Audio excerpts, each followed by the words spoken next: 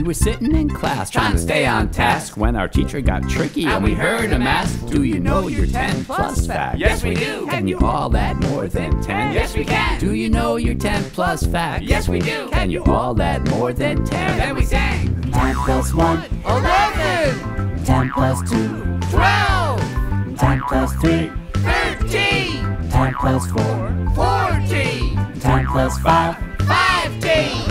There's no such thing as five-teen. Then what is it? It's 15, Oh, yeah. 10 plus 6, 16, 10 plus 7, 17, 10 plus 8, 18, 10 plus 9, 19, 10 plus 10, 20.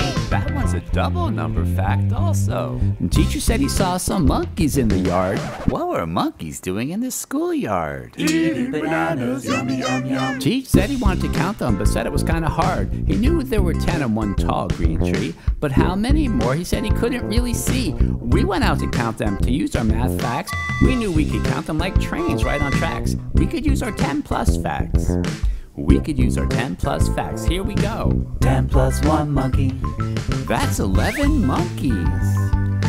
10 plus 2 monkeys, 10 plus 2 is 12 monkeys. 10 plus 3 monkeys, I think that's 13 monkeys. 10 plus 4 monkeys, 10 plus 4, 14 monkeys.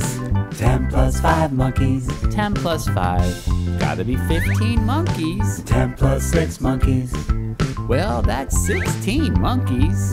10 plus 7 monkeys, 17 monkeys? 10 plus 8 monkeys, Well, that's certainly 18 monkeys. 10 plus 9 monkeys, Oh, yeah, 10 and 9 is 19 monkeys. 10 plus 10 monkeys, And that's 20 monkeys.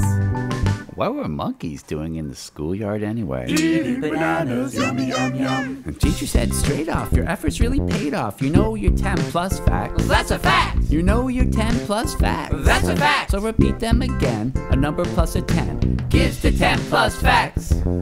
Gives to 10 plus facts. And then we sang 10 plus 1, 11, 10 plus 2, 12, 10 plus 3, 13, 10 plus 4, 14, 10 plus 5, 15. There's no such thing as five-teen. Then what is it? It's 15, Oh, yeah. 10 plus 6, 16, 10 plus 7, 17, 10 plus 8, 18, 10 plus 9, 19, 10 plus 10, 20.